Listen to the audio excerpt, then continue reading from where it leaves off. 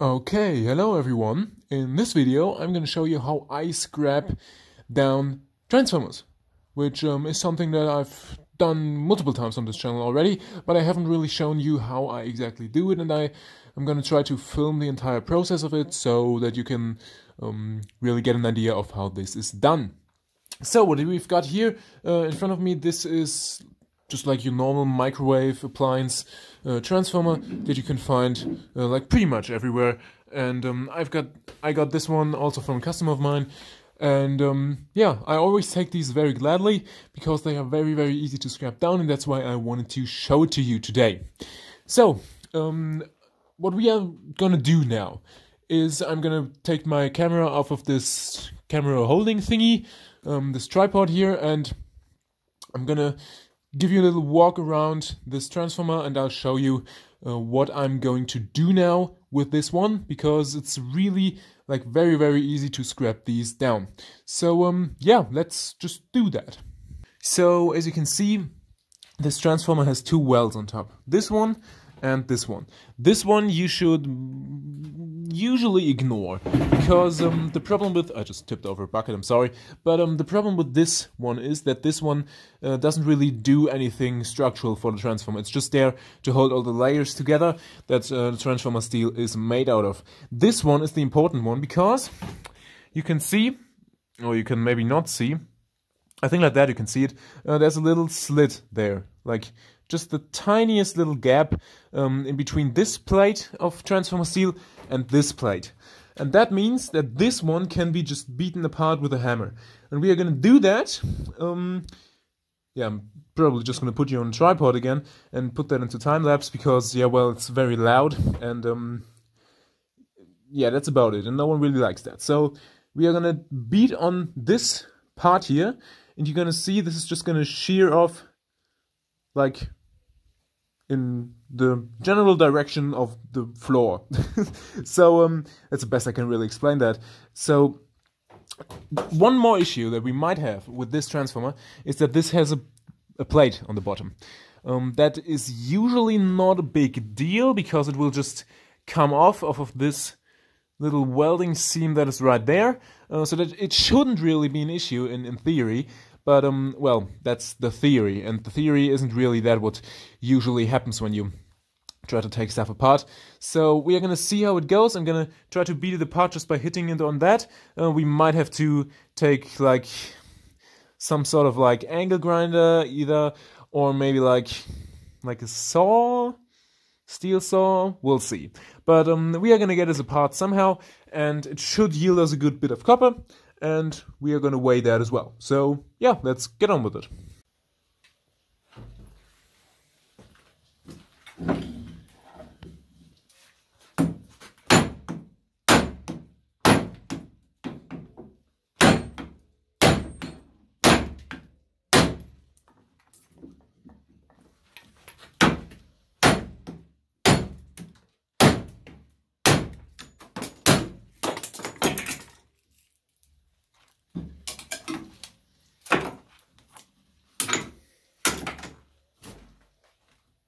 And would you look at that, it was so easy I didn't even have to put it into time lapse. So you saw that in real time. That legit took like 15-20 seconds. Decent. They usually don't go this well, but this one was just really easy. And you could see that this just... It just broke on these these weld seams so easily. It's not really focusing on that, but I think you can imagine what that looks like. Um, so, yeah, that was very, very good. What we are now going to do is we are going to take some sort of metal thing. We have to put our, our vise to a position that um, this metal thingy, the core, fits through it, but the copper coils don't. And so that way we can just push this through.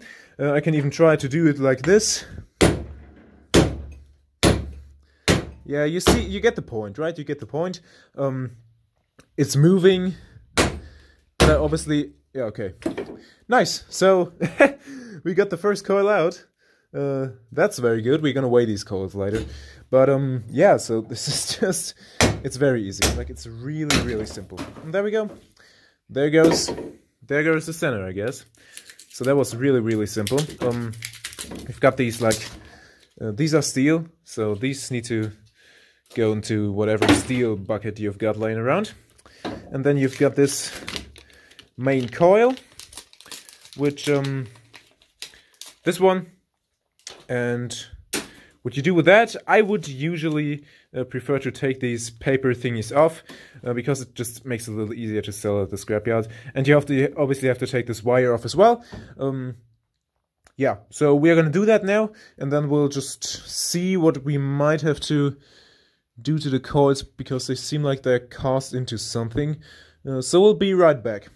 Okay, so I got this green coil all uh, unpacked from this like a weird fiberglass paper that is around it. Um, you have to be really careful with things like that uh, because you obviously don't want to breathe that in. But um, you can see I, I took a chisel and chiseled out a little piece of this coil and um, it is indeed copper so I'm just gonna send it as that.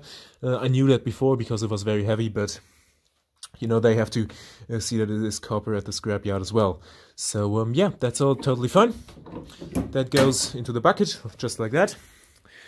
And yeah okay we also obviously have to take this big piece of steel out of it and put that over here on the steel pile. Um, but besides that you know that was um, a very good thing. We got these two coils here. I take that out again. Um, I would say they weigh at least like probably 750 grams, so that's pretty good. Um, you already saw the payout of this load of copper. That was the last video. But um, yeah, so that is pretty much it. That is how you take one of these apart. It's really easy. You can do a lot of it in a very short period of time. And um, so yeah, I would definitely suggest you do that and not just sell these as stators or like transformers in this case. And um, yeah, get the most money that you can for your scrap.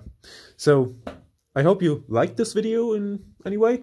Um, let me know if you want some more of these little like how-to videos uh, on this channel. And um, yeah don't forget to give this video a little thumbs up and also comment something. I would really like that as well. And I would also really like it if you could subscribe to the channel if you don't want to miss any other like little videos that I uh, post. So thank you very much for watching and until next time